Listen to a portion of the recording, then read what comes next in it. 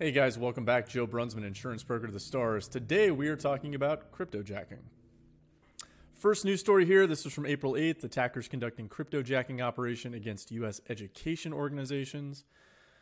This one here from April 14th. Cyber criminals are installing cryptojacking software on unpatched Microsoft Exchange servers. You'll see the quote there in the headline. It's basically free money rolling in for the attackers. Next, Docker Hub images downloaded 20 million times come with crypto miners. Now, what actually is cryptojacking? We're going to talk about that. We're going to talk about why you should care and some additional considerations for you. So, generally, it's just using somebody else's computer to mine for a cryptocurrency. I'm not going to really delve into what mining is here uh, because it's somewhat irrelevant to this conversation, but suffice to say, they're using somebody else's computer for that. They could be using it for really any type of cryptocurrency. Uh, Bitcoin, Ethereum, Litecoin, uh, Monero, all the privacy coins tend to be very popular with this.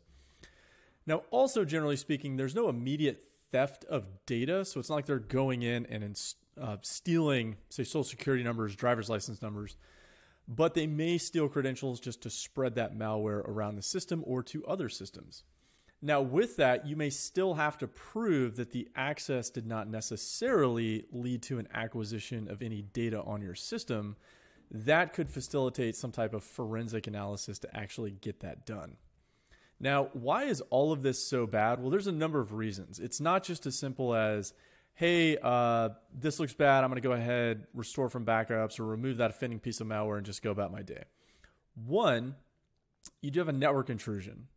Uh, I'm not giving official legal or insurance advice here, but you need to think of this as a network intrusion, which means you may need to get forensics involved, you may need to get an attorney involved, and this could be considered a claim under your insurance policy, which we'll talk about here in a sec.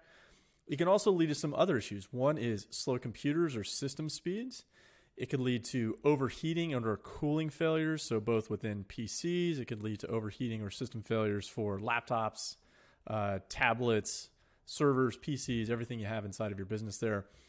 That in turn could lead to expensive hardware replacements and, of course, the excessive utility bill. So, at least on the front end, probably the most likely way you're going to see this is all of a sudden you have a huge jump in your electricity bill and you're going, where did this come from? Why am I now spending, say, three, four times what I did last month on electricity when this may actually be the reason for that? Now, how does this actually happen? Well, there's really two primary two primary methods, excuse me. One is the victim just gets tricked into loading the crypto mining software onto their system, and two, injecting script into a website. Now, what are some of the basic defenses against this? First is going to be security awareness training. You don't want anybody downloading malware onto your system. I'd say, as far as malware goes, getting some type of cryptojacking malware is probably the best you can hope for, but you can't really know what you're downloading until you do some type of network monitoring solution, monitoring your website for malicious code.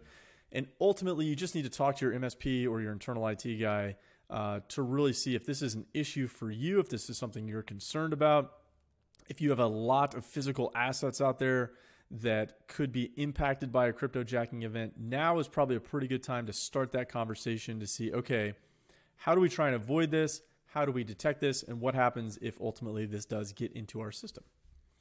Now, the insurance side of it, obviously, you need to read your own insurance policy. This is just an example for you. And this is something where you kind of have to follow the bouncing ball and make sure that you actually know what you're covered for. So here you'll see inside the policy it said cryptojacking means unauthorized use or access to the computer system by a third party to mine cryptocurrency or any other digital or electronic currency. Now, within that, so now you you see cryptojacking is defined. Where could that actually be covered? Well, that in this particular policy could be covered under utility fraud. So it means the unauthorized use or access to your computer system by a third party, including but not limited to cryptojacking or other telephone fraud that results in a utility overage. So then you're like, okay, well, what's utility overage? Follow the bouncing ball means an increase in expenses incurred by you resulting from the unauthorized use of any of the following services or resources. And then I just pulled out electricity there. There's a bunch of other uh, listed utilities. But packing this all together, what's this really saying? It's saying that, hey, if someone installs cryptojacking software on your system, which could trigger utility fraud, so then you need to look at the utility overage uh, specific section within the policy to say, okay, if I have a huge jump in my electricity bill, a cyber policy may actually respond to that type of claim. Now, what does a cryptojacking event cost? Well, there's a lot that can actually go into a cryptojacking event that I don't think a lot of businesses really consider. So, one is the cost to remove the malware. So, now we're talking about potentially forensics, uh, dealing with some potential contractual issues. So, I have seen contracts where just even any access of a system, even if there's no uh, knowledge or allegation of acquisition of data, still could trigger some type of contractual issue for that business lost employee productivity. So imagine if all of your employees' computers were suddenly operating at, you know, 50% speed. Now you've got a problem with inside of your business. It's very hard to calculate that. Reputational damage could be in there, damaged hardware that could get really expensive for you depending upon how you're set up and how many devices could potentially uh, fall victim to this or be damaged with this. Just the wear and tear on your system so spinning up those servers, say to like 100% and just running those every single weekend when no one's in the office, just heating those things into oblivion and then cooling them down, then heating them back up again. You know, that thermal shock that you're going to experience there within servers really can lessen the lifespan of that type of equipment.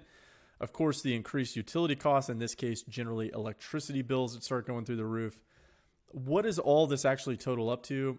It really just depends. But suffice to say, it's enough that you should probably consider having this in your cyber insurance policy if appropriate.